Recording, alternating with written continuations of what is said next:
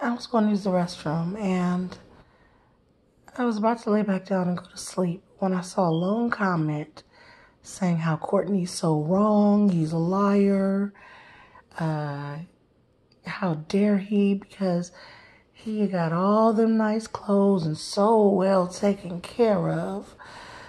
So how dare he lie on his mother because she took so good care of him with those beautiful, nice clothing that he wears. How dare he? And you know, it's not funny, so you can't even like laugh, chuckle, smile over any of that because it's sad. And what I'm talking about that's sad is people out there thinking they know what went on behind the closed doors in the Allen residence. You weren't there when that nine year old boy went through what he said he went through. You weren't there when Latrese said that he did whatever he did, or she didn't do what he said she did. So I'm confused why you jump on the Latrese bandwagon.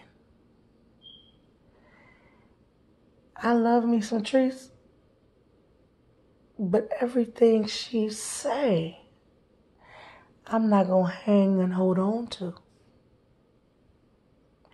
Understand that you can love and support someone, but there's also tough love. When somebody wrong, baby, you gotta tell them they wrong. But in this case, I was not there. You were not there. I'm not, I haven't formed an opinion as to who's right, who's wrong. You can speculate. You got people wanting to believe Latrese because they're supporters of hers, because they have love for her. So they believe everything that comes out of her mouth.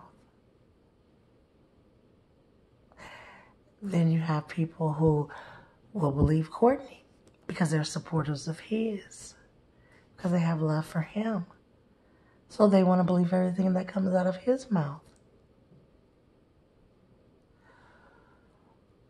Latrese told us all what happened to her when she was a child. And what's funny is the support same supporters of hers that are getting on Courtney about what's not right and how it didn't happen. They believe Latrese when she said what happened to her as a child. They weren't there either. But they believe Latrese. I believe Latrese. But then you have Courtney speaking what he says is his truth. And now all of a sudden you don't want to believe it. You don't want to believe him. Why? Because Latrese wouldn't do that. And this has nothing to do with Latrese, nothing to do with Courtney, but everything to do with common sense. Bill Cosby was known for being the pudding man, right? chocolate pudding. Chocolate pudding. America's favorite dad. A wonderful actor. But did he molest those women? Did he not go to jail for molesting those women? R. Kelly, wonderful singer. But did he not go to jail for abuse of all sorts. If you get my point, then why not go ahead and let it make it make sense? Why is it that people want to be so right that they'll stand and they're wrong? It's okay to sit down. It's okay to open your ears and close your mouth. I wasn't there, so I don't know what happened. But I did just slip up and say that I believe Latrese when she was a kid. And I really don't like to because I wasn't there either, right?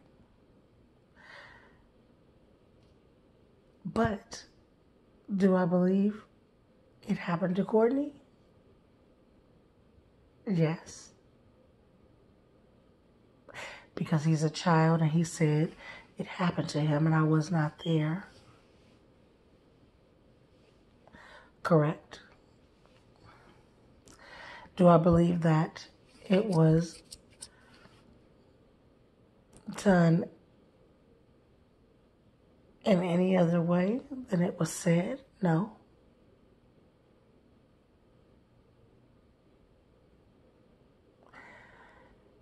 I was not there. You can form an opinion without being somewhere. Somebody asked you, did R. Kelly, you think R. Kelly gave somebody a golden shower? You shower, you weren't there. And if you didn't see any videos that was out, you can either say yes or no, and that'll be your opinion. Opinions are not always facts. Just think about it. Take a minute to think about what I'm saying. It's best to stay out of it, to be honest.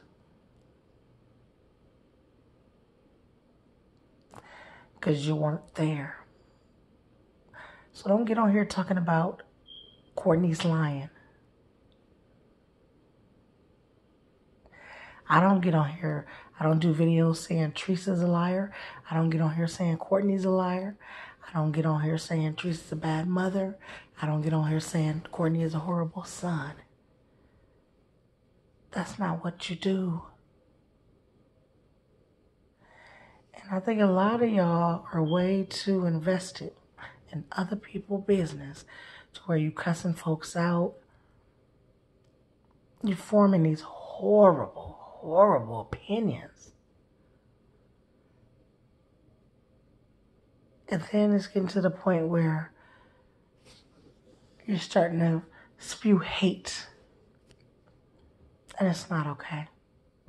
Anyways, uh, I'm going to go back to sleep because I'm tired. Rambling on. You have a wonderful, wonderful day. God bless.